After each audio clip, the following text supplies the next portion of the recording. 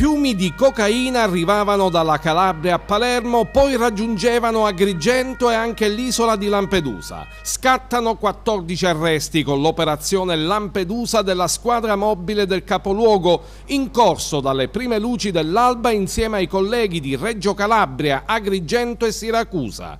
Le indagini coordinate dalla DDA di Palermo hanno permesso di accertare che lo smercio dello stupefacente nelle varie province era garantito da una cerchia di corrieri, tutti commercianti ambulanti, ma pusher di fatto. Per il loro lavoro ufficiale raggiungevano i mercati rionali ed in tal modo spostavano la droga senza destare sospetto. Ma non solo cocaina, l'organizzazione si occupava anche del traffico di hashish e marijuana con una articolata suddivisione dei ruoli e la comunicazione con i referenti delle singole province di destinazione dello stupefacente. Nel corso delle indagini è emerso che pur provenendo la maggior parte dello stupefacente dalla Calabria non mancavano fonti di approvvigionamento locali come per esempio la piantagione indoor di marijuana scoperta e sequestrata in territorio di Villafrati nel Palermitano nel 2017 e curata da un soggetto alle dirette dipendenze di uno dei principali esponenti dell'associazione.